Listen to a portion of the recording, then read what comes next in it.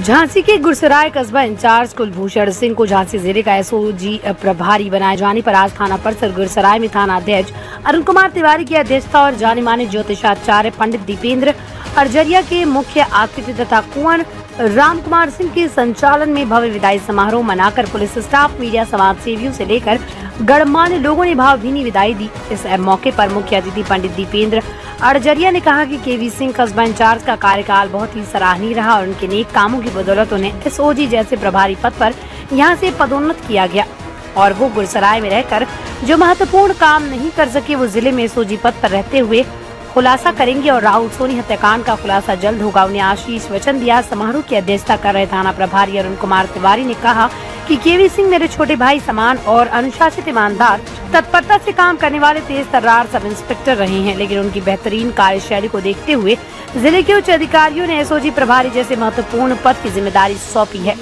इसमें वो निश्चित ही सफल होंगे। विदाई समारोह का संचालन कर रहे राम कुमार सिंह ने कहा कि कस्बा इंचार्ज के सिंह एक अनुशासित, मर्यादित समय पर अपनी जिम्मेदारियाँ बखूबी निभाने वाले संस्कारों से परिपूर्ण अधिकारी रहे, जिसकी बदौलत आज कम उम्र में ही ज़िले में ही नहीं, प्रदेश में उनकी गिनती अच्छे पुलिस सब इंस्पेक्टरों में गिनी जाती है।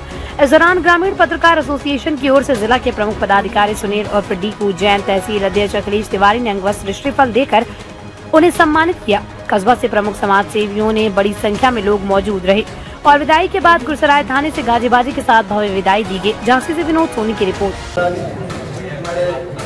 बड़े भाई तो साहब जी। और हमारा थाना स्टाफ। हम आप लोगों को